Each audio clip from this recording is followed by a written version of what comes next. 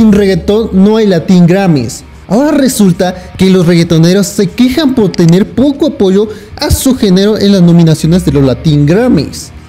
Para empezar, los que no saben qué son los premios Grammys, son una distinción otorgada por la Academia Nacional de Artes y Ciencia de la Grabación de Estados Unidos, en el cual se dan reconocimiento a un logro en especial, destacado en la industria musical a un artista en específico, en el cual los reggaetoneros se muestran enfadados en las redes sociales, con su típica frase, sin reggaetón no hay Latin Grammys. La verdad, tienen razón. Mmm reciben poco apoyo.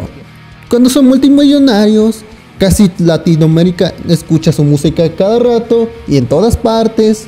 Pobrecitos, solo porque su música no fue tan dominada en los Grammys.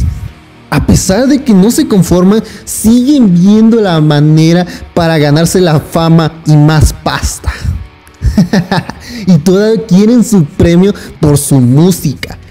Y solo porque se sienten ofendidos, y hacen un desastre por las redes sociales y juntar fuerzas para obtener lo que se merece. Que por cierto, obtener un premio de los Grammys es más que una basura, no tiene ningún valor, más que el fin de presumir algo vacío. Más que los Grammys son más que una herramienta promocional. Y no digo que son malos, más que deberían ver más apoyos a músicos underground, cuando hay mucho talento en cualquier lugar de Latinoamérica. Pero no, vienen estos reggaetoneros protestando que no se sienten representados por su cultura. O sea que no se conforman que su música esté en todos lados, en el cual son promocionados en anuncios, comerciales, redes sociales, se hacen tendencia en cualquier parte de Latinoamérica.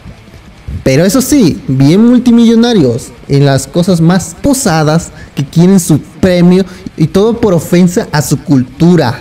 En el cual todos sabemos que tanto con los Grammys y los reggaetoneros les da lo mismo. En el cual todo fue una estrategia de mercadotecnia para hacer tendencia a favor de los Grammys y los reggaetoneros. Y en efecto, les funcionó. En todas partes hablan de los Grammys y los reggaetoneros, en el cual toda es una estrategia de mercadotecnia para que hablen de ellos y estén en todas partes de los rincones. Y aunque no lo fuera, de todos modos les funcionó, aunque no se hayan dado cuenta. Aunque el reggaetón no sé si se le podría llamar música. En pocas palabras quiero decir que los Grammys y los reggaetoneros todo fue una estrategia. Si no fue así, o claro, no me van a desmentir, entonces de todos modos les funcionó, porque díganme, es como cualquier parte que tienen que hablar de ellos, porque antes de esto que pasara nadie hablaba de ellos, porque salen en todos los medios ahora, todos por páginas, internet, en las noticias, ¿quién no habla de ello? A ver, de todos modos, aunque no hayan conseguido su premio, lo que querían, de todos modos lo consiguieron, de todos modos hablan con ellos, y ahorita lo que va a generar es que son tendencia actualmente, entonces y acuérdense que los Grammys los fueron, los rechazaron más bien por ser moda. Y lo más chistoso de todo esto, que todavía dicen que, que fue por su ofensa a su cultura. y desde aquí, cuando el reggaetón se ha dominado como una cultura, todos los ámbitos musicales, todo tiene una cultura. Imagínate, uy, sí, cuántos años de dominaciones ha venido el reggaetón desde aquí. Uy, sí, fue una gran ofensa. Bueno, pero ya ese será otro tema que hablaré en un futuro.